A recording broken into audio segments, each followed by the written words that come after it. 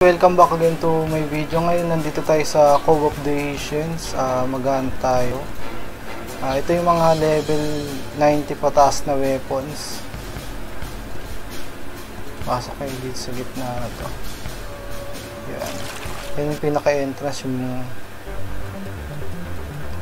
dito guys, uh, kailangan nyo muna i-kill yung ano, yung sirena.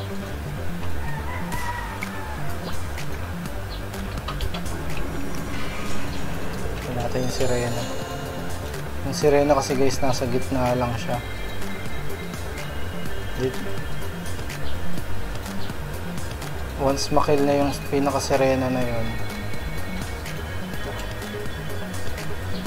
Ito guys, sirena.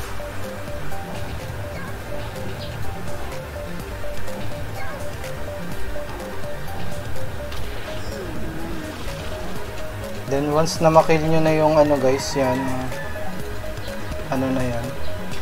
Pasok na kayo dun sa gate. Gate. O yan. Wala pa na akong dalang ano, hindi pala ako. Pasok na kayo dun sa gate.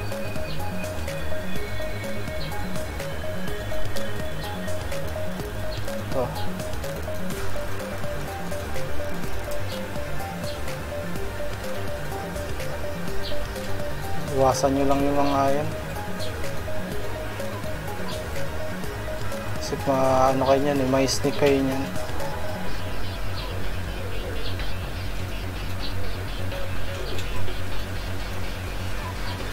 pag na sneak kayo nyan ako sunod sunod na yan. Hanggang sa maubos yung holy nyo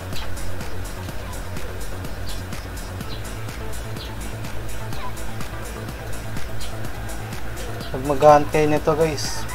Ganda sa mga ano level 90 pataas na ano kasi ito weapon.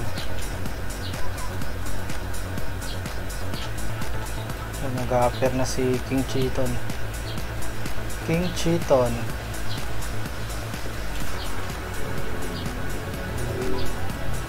yan